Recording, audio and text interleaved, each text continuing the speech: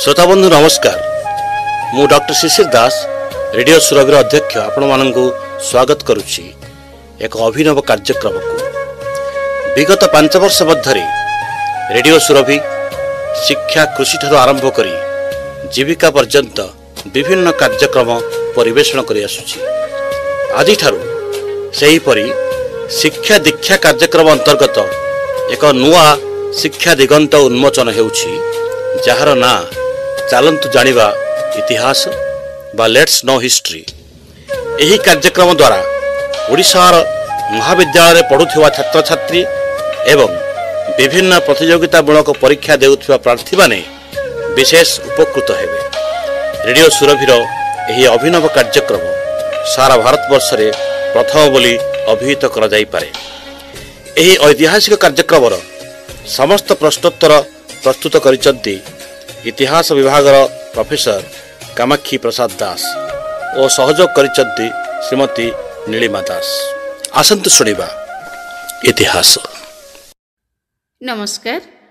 କୋରାପୁଟ ସରକାରୀ ମହାବିଦ୍ୟାଳୟର ଇତିହାସ ବିଭାଗୀୟ ମୁଖ୍ୟ ତଥା ଜାତୀୟ ଦୃଷ୍ଟିବାଧିତ ସଂଘ ଓଡ଼ିଶା ଶାଖାର ଅବୈତନିକ ଇନକ୍ଲୁସିଭ୍ ଶିକ୍ଷା ନିର୍ଦ୍ଦେଶକ ପ୍ରଫେସର କାମାକ୍ଷୀ ପ୍ରସାଦ ଦାସ ମହୋଦୟଙ୍କର ଲେଟ୍ସ ନୋ ହିଷ୍ଟ୍ରି ମାଧ୍ୟମରେ ଛାତ୍ରଛାତ୍ରୀମାନଙ୍କ ପାଇଁ ଝରି ଆସିଥିବା ସିବିସିଏସ୍ ପାଠ୍ୟ ଖସଡ଼ା ସମ୍ବଳିତ ସଂକ୍ଷିପ୍ତ ପ୍ରଶ୍ନ ଉତ୍ତର କାର୍ଯ୍ୟକ୍ରମ ଉପସ୍ଥାପନାରେ ମୁଁ ନୀଳିମା ଦାସ ଆପଣମାନଙ୍କୁ ସ୍ୱାଗତ କରୁଛି।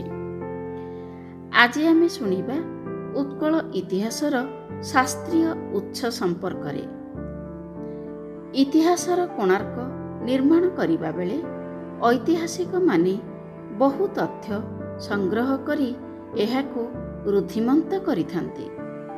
ଉତ୍କଳ ଇତିହାସ ଅନେକ ତଥ୍ୟର ମିଶ୍ରଣରେ ପରିପୃଷ୍ଟ। ଏହି ପରିପ୍ରେକ୍ଷୀରେ ଉତ୍କଳ ଇତିହାସର ପ୍ରାଚୀନ କୀର୍ତ୍ତିମାଳା ସମ୍ପର୍କରେ ତଥ୍ୟ ସନ୍ଧାନ କରିବା ବେଳେ ଯେଉଁ ଶାସ୍ତ୍ରୀୟ ଉତ୍ସ ସମୂହ ପାଠକ ପାଠିକାମାନଙ୍କୁ ଆକୃଷ୍ଟ କରିଥାଏ ସେହି ଶାସ୍ତ୍ରୀୟ ଉତ୍ସ ସମ୍ପର୍କରେ ଆଜିର ପ୍ରଶ୍ନ ଉତ୍ତର।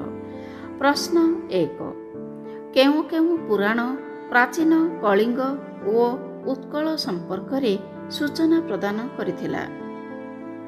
ଉତ୍ତର ବାୟୁ ପୁରାଣ ମତ୍ସ୍ୟ ପୁରାଣ ଭାଗବତ ପୁରାଣ ହରିବଂଶ ପୁରାଣ ଓ ବିଷ୍ଣୁ ପୁରାଣ। ପ୍ରଶ୍ନ ଦୁଇ। କେଉଁ କେଉଁ ଚାରିଗୋଟି ଅଞ୍ଚଳକୁ ନେଇ ଓଡ଼ିଶା ପ୍ରଦେଶ ଗଠନ ହୋଇଥିଲା। ଉତ୍ତର କଳିଙ୍ଗ ଓଡ୍ର ଉତ୍କଳ ଓ କୋଶଳ। ପ୍ରଶ୍ନ ତିନି କେଉଁ କାରଣ ଯୋଗୁଁ ପ୍ରାଚୀନ ଓଡ଼ିଶା ସମ୍ପର୍କରେ ଜୈନ ଓ ବୌଦ୍ଧ ସାହିତ୍ୟରୁ ତଥ୍ୟ ଆହରଣ କରାଯାଇଥାଏ? ଉତ୍ତର ପ୍ରାଚୀନ ଓଡ଼ିଶାର ବହୁ ସଂଖ୍ୟକ ଅଧିବାସୀ ବୌଦ୍ଧ ଓ ଜୈନ ଧର୍ମାବଲମ୍ବୀ ଥିବା କାରଣରୁ। ପ୍ରଶ୍ନ ଚାରି ହିନ୍ଦୁ ଧର୍ମର କେଉଁ ଦୁଇଟି ବୃହତ୍ ଶାଖା ପ୍ରାଚୀନ ଓଡ଼ିଶାରେ କାୟା ବିସ୍ତାର କରିଥିଲା? ଉତ୍ତର ଜୈନ ଧର୍ମ ଓ ବୌଦ୍ଧ ଧର୍ମ। ପ୍ରଶ୍ନ ପାଞ୍ଚ ପ୍ରାଚୀନ ଓଡ଼ିଶାର କେଉଁ ସହରରେ ଅଷ୍ଟାଦଶ ଜୈନ ତୀର୍ଥଙ୍କର ଅରନାଥ ତାଙ୍କର ସର୍ବୋଚ୍ଚ ଜ୍ଞାନ ପ୍ରାପ୍ତ କରିଥିଲେ। ଉତ୍ତର ରାୟପୁର ସହରରେ ଯାହାକି ପ୍ରାଚୀନ କଳିଙ୍ଗର ରାଜଧାନୀ ବୋଲି ବିଶ୍ୱାସ କରାଯାଏ। ପ୍ରଶ୍ନ ଛଅ କଳିଙ୍ଗରେ ଜୈନ ତୀର୍ଥଙ୍କର ଅରନାଥଙ୍କର ଜ୍ଞାନ ପ୍ରାପ୍ତି ସମ୍ପର୍କରେ କେଉଁ ଗ୍ରନ୍ଥରୁ ପ୍ରମାଣ ମିଳିଥାଏ? ଉତ୍ତର ଆବଶ୍ୟକ ନିରୁକ୍ତି ପୁସ୍ତକରୁ।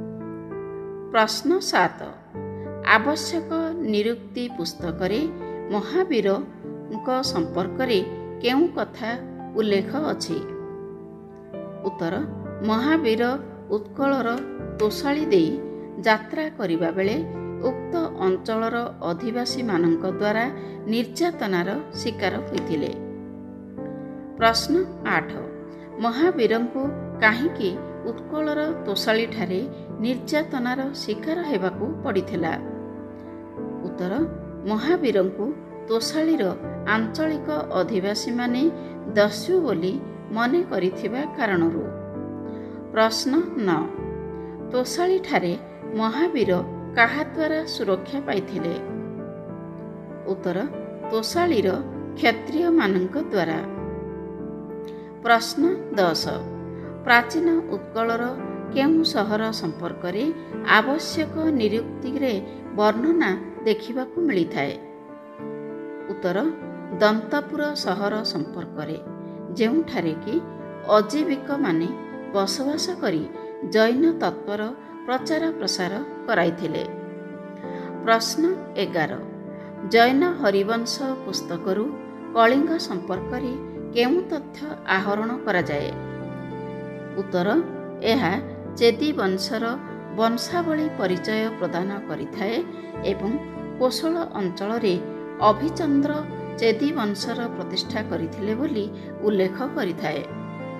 ପ୍ରଶ୍ନ ବାର କେଉଁ ବୌଦ୍ଧ ସାହିତ୍ୟରେ କଳିଙ୍ଗ ରଥ ବା କଳିଙ୍ଗ ରାଷ୍ଟ୍ର ସମ୍ପର୍କରେ ବର୍ଣ୍ଣନା ଦେଖିବାକୁ ମିଳିଥାଏ? ଉତ୍ତର ଦୀଘା ନିକାୟର ମହାଗୋବିନ୍ଦ ସୁତାନ୍ତରେ।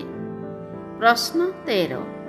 ବୌଦ୍ଧ ସାହିତ୍ୟ ଦୀଘା ନିକାୟର ମହାଗୋବିନ୍ଦ ସୁତାନ୍ତ ପ୍ରାଚୀନ ଓଡ଼ିଶାର କେଉଁ ଦୁଇଟି ଅଞ୍ଚଳ ଉପରେ ଆଲୋକପାତ କରିଥାଏ? ଉତ୍ତର କଳିଙ୍ଗ ଓ ଉତ୍କଳ ଉପରେ।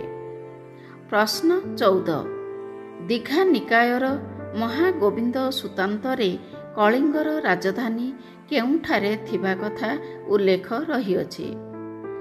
ଉତ୍ତର ଦନ୍ତପୁରଠାରେ। ପ୍ରଶ୍ନ ପନ୍ଦର ବୌଦ୍ଧ ସାହିତ୍ୟର ମାଝିମା ନିକାୟର ଉପାଳି ସୂତରେ କଳିଙ୍ଗର ରାଜା ନାଲିକିରାଙ୍କର ମୃତ୍ୟୁ ସମ୍ପର୍କରେ କେଉଁ କଥା ଉଲ୍ଲେଖ ଅଛି? ଉତ୍ତର କଳିଙ୍ଗର ରାଜା ନାଲିକିରା ଜଣେ ବୌଦ୍ଧ ସନ୍ନ୍ୟାସୀଙ୍କୁ ଦୁର୍ବ୍ୟବହାର କରିବା କାରଣରୁ ରାଜାଙ୍କର ମୃତ୍ୟୁ ହୋଇଥିବା କଥା ଉଲ୍ଲେଖ ଅଛି। ପ୍ରଶ୍ନ ଷୋହଳ। କଳିଙ୍ଗ ଓ ଉତ୍କଳ ସମ୍ପର୍କରେ କେଉଁ କେଉଁ ବୌଦ୍ଧ ଜାତକରୁ ତଥ୍ୟ ହାସଲ କରାଯାଏ? ଉତ୍ତର କୁରୁଧର୍ମ ଜାତକ ଭେଷାନ୍ତର ଜାତକ କୁମ୍ଭକାର ଜାତକ ଓ କଳିଙ୍ଗ ବୋଧି ଜାତକରୁ। ପ୍ରଶ୍ନ ସତର। ଉତ୍କଳ ଓ କଲଗ ସମ୍ପର୍କରେ ଅନ୍ୟାନ୍ୟ କେଉଁ କେଉଁ ବୌଦ୍ଧ ଗ୍ରନ୍ଥରୁ ତଥ୍ୟ ହାସଲ ହୋଇଥାଏ? ଉତ୍ତର ମହାପରିନିର୍ବାଣ ସୂତ ଦଥବଂଶ ଦୀଘା ନିକାୟ ଓ ମହାବସ୍ତୁ ପ୍ରଭୃତିରୁ। ପ୍ରଶ୍ନ ଅଠର।